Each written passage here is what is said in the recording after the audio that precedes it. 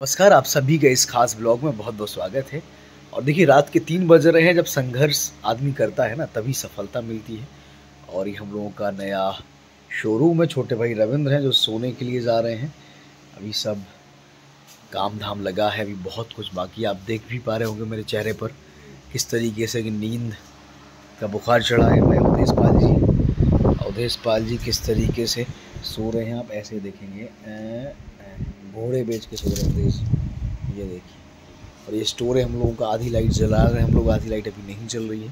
तो कुछ आपको समझ नहीं आएगा, लेकिन बहुत जल्द इसकी ओपनिंग होने वाली है और जिसमें ओपनिंग के बाद भी आपको एक ब्लॉग में दिखाएँगे सब कुछ। तो जो संघर्ष होता है, वही हमें सफल बनाता है, आप देखेंगे। ये सी सीसीटीवी कैमराज हैं जो ऑपरेट हो रहे हैं सब जगह।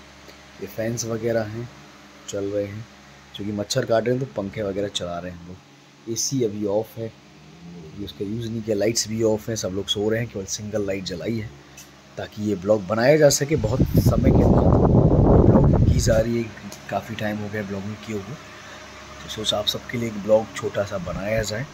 तो ये कपड़ों की शॉप है। जूते भी उस तरफ़ आपको दिखाई देंगे। इस तरफ़ जूते दिखाई दे रहे होंगे तो ये जूते वगैरह हो गए। और कपड़े वगैरह हैं यहाँ पर। राठ हम लोगों का टाउन है, कस्बा है। राठ कस्बे से हम लोग बिलोंग करते हैं और राठ कस्बे में ही शॉप है हम लोगों की। बहुत नींद आ रही है तो चलिए मैं भी सोता हूँ। गुड नाइट आप सब यूँ ही जुड़े रहें, देखते रहें राज का यूनिवर्स थैंक यू